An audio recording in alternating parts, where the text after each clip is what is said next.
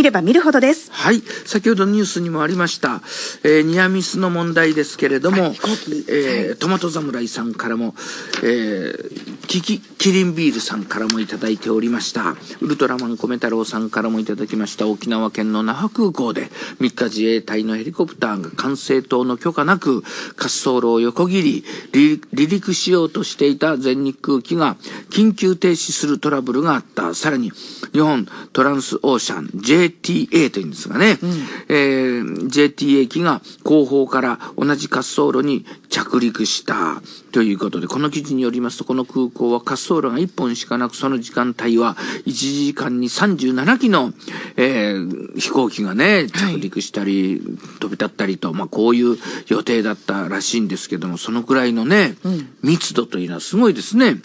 少し前に滑走路上に作業車が止まっていて、え着陸しようとした飛行機がタッチゴーをして危機一髪だったニュースがありました。まあ結局は人が管理して、人が操縦するんだからミスはあるんだろうなと思いました。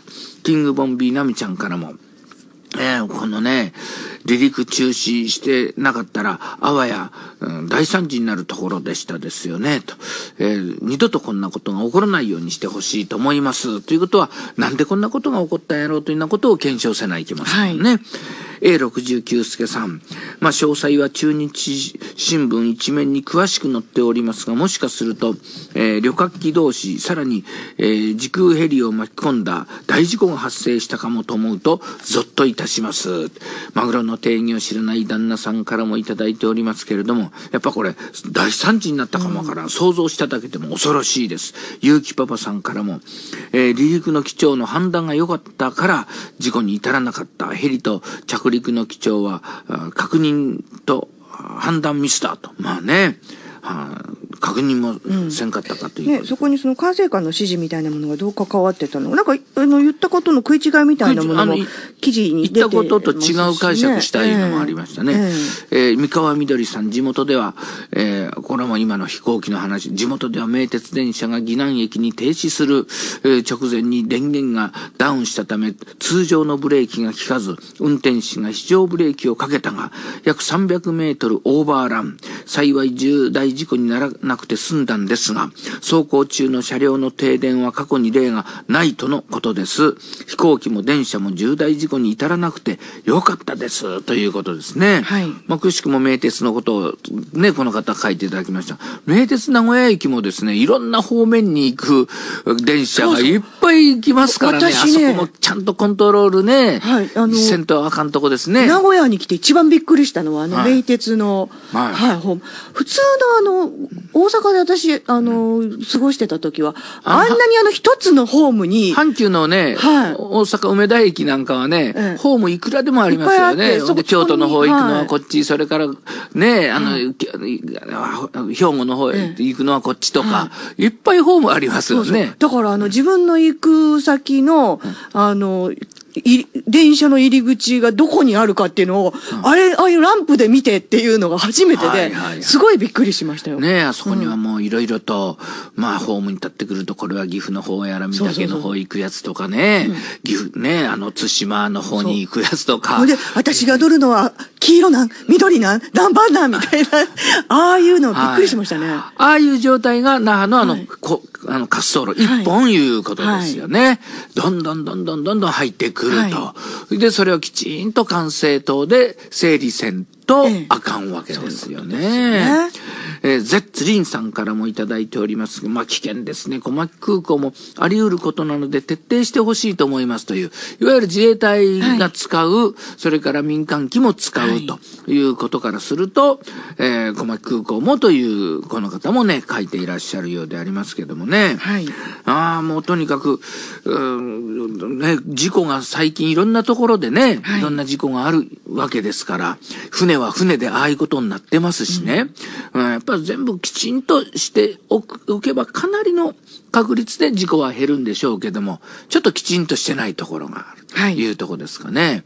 私もあの経験しましたけれども、あの本当にこのね、図を見るとね、皆さん方ね、あの、結構自動車事故の接触しましたのからすると、ニュース見る結構離れとるやんと思うよね。あれ見てたら。結構離れとるやんと思いますけどね。はいあれ、飛行機のものっていうのはやっぱりね、車とは全然やっぱり、そねの距離感がね、違違うし、ええ私前に CBC の、あの、取材でもって、はい飛行機に乗るのがあったんですよ。えうちの息子と一緒に乗るやつで。うん。で、そこのところのね、んあの、滑走路にずっとこう、これもやっぱりはい、セスナみたいなやつですよ。うん、管制塔の指示によってスタッフ乗り込んで、はい。で、ずっと撮影するんですけども、で、指示が出た。で、で、滑走路に進んでくださいみたいなずっと出て、で、滑走路のとこバッと折った。で、なんか向こうの方になんかいろんなことがあって、なんかね、ちょっと、飛び立つのを待てという指令があったんですよね。はい。で、まあそこで待ってたんです。ただね、そこ、向こうの後ろの方からですね、もうそこの滑走路に着陸せないかんのがですね、向こうからガーッと迫ってくるわけですよ。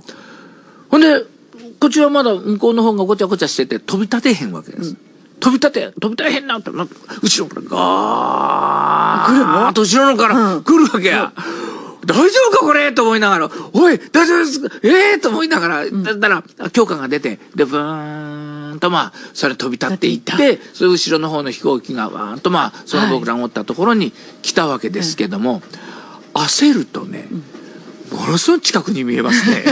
後ろの方から来るやつ。はい。それ事故でも何でもないことですよ。はい。通常そのくらいのはい。距離で来るんです。はい。それで、おここに止まっててももうこのくらいの距離やったら、まあいいだろうぐらいに、はい。わーんと目指してくるんですけども、焦、知らずに焦るとです、もう迫ってくるような感じで、お ーと思ってわーっと飛びして安心してみると、結構向こうやん、あれ。結構遠いやん、あれ。いうぐらいのことがありますから、皆さん方が、あの、テレビで見た、自衛隊機がこれで、こっちで、あるやん、まだ、と思いますけどね、結構そのね、はい。乗ってるものにとっては、うん。そしてまたあの距離感っていうのは事故が起こる距離感であるとはい。いうことですからね、そんなことを思いながら、きっと結構離れとるだろうなと思いながら見てる人が多いやろうな。でも実際怖いんやで、これ、とはい。いう経験もしたことがありましたけどもね。まあ、あの、無事になんとかね、行けました。ねう本当に何も事もなくてよかったですけど。ついでの話でなんですが、飛行機の話からすると、アナーキゴンボウシさん、昨日、名古屋空港へ、ソーラーインパルス2を、おニュースで、えーテントの中に入ってることは分かってましたが、見に行ってきました。これ私もね、早くべきだったですね。これもニュースやってました。はいパパパパパパとこれ早送りでやってましたけど。ちょっと白いねはい。はいスーッとあれ、なんか、あっという間にできますね。シェルターみたいなねはい、あれね。うん、分かってましたが見に行ってきました。雨降りなのにデッキテラスにはヤジ馬がワンサが。夕方のニュースで、大村知事がテントの中に入ってましたが、中はあんな感じなんだなと。来週もまだいるみたいだから、再度チャレンジしてみようかなと思います、というね。あれ、なんであんな風に覆っちゃったの？それはあれでしょう。やっぱり、お金払って定期してるわけですから、やっぱりちゃんと屋根ぐらいつけたらんとと思ったんですよ。昨日言ってたあの安い中期料金ではい特別扱い、安いからあれなんか空気で膨らましたやつや。あれ、ちょっとこ子供プールみたいな。空気じゃない子供プールみたいな。子供プールじゃないです。せっかくだから見せてくれたらいいの。なんであんな覆っちゃうんだろうとかって思うんだけど。見せるために止まってるんじゃないでもほら、ああのシェルター普段は何を？いや、あのシェルターのことは知りませんけども、おそらくですが、は羽の上とかなんかにいろんなソーラーパネルとかかなんかあって、それはやっぱり保護せんとあかんでのですよ。もあれ太陽光を集めないと飛べないんでしょ？だからそういう時はまたいいですって。普段夜寝る時とか寝る時。